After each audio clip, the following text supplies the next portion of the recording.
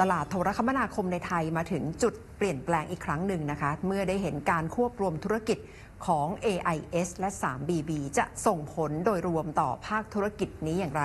ทันโลก 101 กับคุณฉัดคำแสง ผู้อำนวยการวันโอวันพับค่ะ มีเรื่องไหนที่ผู้บริโภคควรจะต้องจับตามองคะการควบกิจการล่าสุดเนี่ยค่ะการควบรวมกิจการในอินเทอร์เน็ตบ้านนะครับ ก็เป็นเรื่องที่เป็นอีกหนึ่ง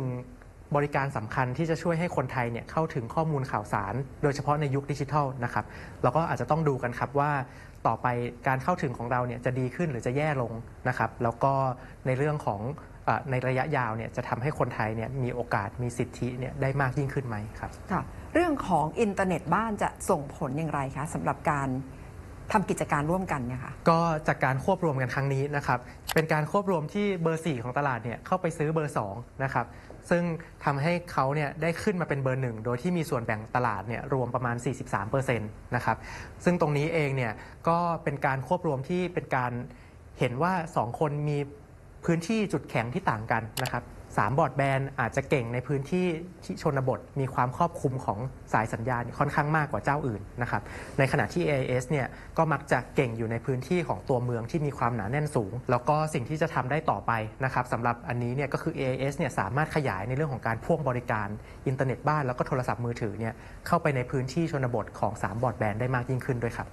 ตรงนี้จะส่งผลอย่างไรคะสำหรับเอ่อ ตรงนี้นะครับวันโอวันผับเนี่ยก็ได้ลองไปคำนวณดูนะครับว่าการควบรวมครั้งนี้เนี่ยจะมีผลกระทบมากน้อยแค่ไหนต่อผู้บริโภคนะครับเราก็จะเห็นว่าในพื้นที่ที่ 2 เจ้านี้เนี่ยไม่ได้ให้บริการทับซ้อนกัน หรือว่ายังมีคู่แข่งจะรายอื่น ๆ อยู่เนี่ยตรงนี้เนี่ยอาจจะไม่ได้มีความกังวล เพราะว่า เป็นธุรกิจที่จริง ๆ มันต้องเป็นการลงทุนโครงสร้างพื้นฐานเดินสายสัญญาณนะครับ เพราะฉะนั้นเนี่ยมันก็จะต้องมีคู่แข่งไม่เยอะอยู่แล้วนะครับ แต่ว่าถ้าเกิดยังมีคู่แข่งอยู่เนี่ยก็ทำให้ผู้บริโภคเนี่ยอาจจะไม่ต้องเจอผลกระทบมากนักนะครับ แต่พื้นที่ที่อาจจะต้องห่วงหน่อยนะครับก็คือพื้นที่ที่ AS และ3บอร์ดแบนเนี่ยให้บริการอยู่ โดยที่ไม่ได้มีคู่แข่งคนอื่นเนี่ยสามารถเข้ามาทดแทนได้ เรียกง่ายๆว่าพื้นที่เหล่านี้เนี่ยกลายเป็นพื้นที่ที่จะกลายเป็นพื้นที่ผูกขาดรายเดียวนะครับ ตรงนี้เนี่ยก็อาจจะทำให้ผู้บริโภคเนี่ยจะต้องจ่ายแพงขึ้นนะครับจากที่เราคำนวณออกมาดูเนี่ยก็จะอยู่ที่ประมาณ 10-20%นะครับ โดยที่คำว่าแพงขึ้นตรงนี้เนี่ยมันอาจจะไม่ใช่ราคาที่แพงขึ้นเพียงอย่างเดียว แต่ว่ามันอาจจะหมายถึงคุณภาพของสัญญาณอินเทอร์เน็ตอาจจะแย่ลงก็ได้ หรือว่าคุณภาพของการให้บริการอาจจะมาบริการช้าลง อาจจะโทรศัพท์ติดต่อได้ยากขึ้น แบบนี้ก็เป็น ค่าใช้จ่ายที่ผู้บริโภคต้องจ่ายแพงขึ้นด้วยเช่นกันครับ แล้วการพ่วงแพ็กเกจแบบให้บริการโทรศัพท์มือถือพ่วงอินเทอร์เน็ตบ้านกำลังจะนำไปสู่ความเปลี่ยนแปลงอย่างไรคะครับ ตรงนี้เนี่ยเป็นเทรนด์ใหญ่ของตลาดโทรคมนาคมทั่วโลกเลยนะครับ เรียกว่าเป็น Fixed Mobile Convergence นะครับ คือผู้บริโภคทุกคนเนี่ยไม่ได้ใช้บริการเพียงอย่างใดอย่างหนึ่ง และจะใช้ทั้งโทรศัพท์มือถือ ใช้ทั้งอินเทอร์เน็ตบ้าน ใช้รวมไปถึงการดูโทรทัศน์ ดูรายการออนไลน์ต่างๆ ด้วยนะครับ แต่ว่าสิ่งนี้เนี่ยก็จะทำให้ในตลาดของไทยเนี่ยจะทำได้จริง ๆ แค่ 2 เจ้าเท่านั้นนะครับ ก็คือ 1 ก็คือค่ายของ True ซึ่งควบรวมกับ d t แทไปแล้ว ซึ่งก็มีการรายงานผลการเงินออกมานะครับ บอกว่าทำให้เมื่อหลังจากมีการควบรวมเนี่ยก็จะมีลูกค้าที่ใช้บริการพ่วงหลาย ๆ บริการอยู่ด้วยกันเนี่ยเยอะขึ้นนะครับ แล้วก็ต่อไปเนี่ย AAS เมื่อควบรวมกับ 3 บอร์ดแบนด์ไปแล้วเนี่ยก็จะเป็นอีกค่ายหนึ่งที่สามารถทำสิ่งนี้ได้อย่างเต็มที่ ในอนาคตเนี่ย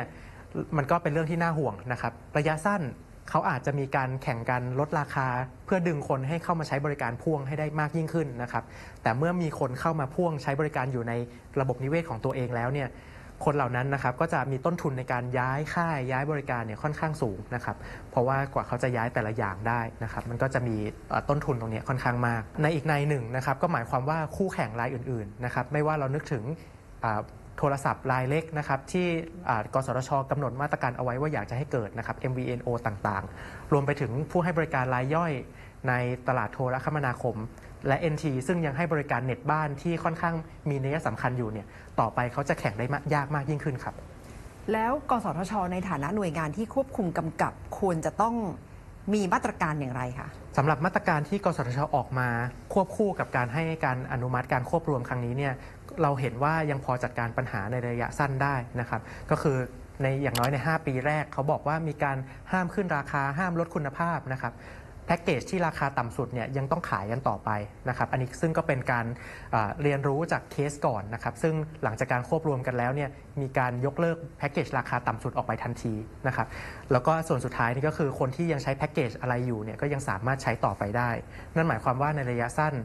อาจจะมีผลกระทบตรงนี้น้อยลง แนวทางการกำกับในต่างประเทศที่ไทยอาจจะถอดบทเรียนได้เนี่ยคืออะไรคะอย่างที่เราคุยกันไปนะครับว่าผลกระทบของการควบรวมเนี่ยมันน่าจะขึ้นกับพื้นที่ของการให้บริการเนี่ยค่อนข้างมากนะครับซึ่งในต่างประเทศก็เห็นเทรนแบบเดียวกันเราก็เห็นกสทช ของในสหรัฐอเมริกานะครับเขามีการทำแผนที่ซึ่งเปิดเผยต่อสาธารณะทุกคนนะครับว่าแต่ละพื้นที่พื้นที่ไหนเนี่ย เจ้าไหนให้บริการอยู่บ้างนะครับ อันนี้ก็เป็นสิ่งที่อ่าทางสหรัฐเนี่ยเขาลงทุนทำข้อมูลในรายพื้นที่ตรงนี้ให้ชัดเจนนะครับ ซึ่งกสทชของไทยเนี่ยยังไม่มีสิ่งนี้นะครับ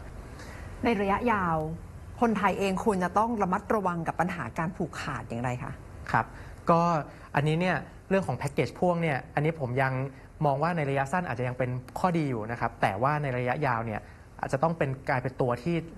น่าห่วงว่าจะทำให้ตลาดโทรคมนาคมโดยรวมเนี่ย อาจจะผูกขาดไปด้วยกันทั้งหมดหรือไม่ มันหมายความว่ามันเป็นการเป็นเครื่องมือในการฆ่าคู่แข่ง แล้วก็ทำหมันรายใหม่ในระยะยาว สิ่งที่กสทชอาจจะต้องทำเพิ่มนะครับ เอาให้ชัวร์นะครับ ก็คือในเรื่องของการพยายามหาแพ็กเกจ พยายามให้มีการบริการแยกกัน และแต่ละอย่างเนี่ยให้มันเป็นรายราคาที่ถูกทั้งคู่นะครับ ซึ่งทำให้เป็นการแยกการแข่งขันของทั้งสองตลาดออกจากกัน ไม่งั้นถ้ามันพ่วงกันไปหมดแล้วเนี่ยแนวโน้มการแข่งขันในอนาคต หรือการอยากให้มีรายใหม่เกิดขึ้นเนี่ยแทบจะเป็นไปไม่ได้ครับ ค่ะเอาละค่ะก็เป็นเรื่องที่ผู้บริโภคเองก็ต้องตื่นตัวนะคะสำหรับการควบรวมกิจการในวงการอินเทอร์เน็ต วงการโทรคมนาคมล่าสุดค่ะ วันนี้ขอบคุณคุณชัดมากค่ะ ขอบคุณครับ